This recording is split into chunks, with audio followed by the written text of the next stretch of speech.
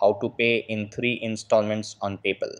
Hey guys, in this video, I am going to show you how you can pay in three installments on PayPal. So make sure to watch this video till the end and let's get started. So in order to pay in three installments on PayPal, first you have to read these instructions. So if you are paying in three installments, then the purchase amount should be between 30 to 2000 euros and the number of payments will be 3. The time between these payments will be 1 month for each and many more things like that. Now, in order to pay in 3 installments on PayPal, what you have to do is at the checkout select pay in 3. Then make your first payment. At last, make 2 or more payments on the same date of each month.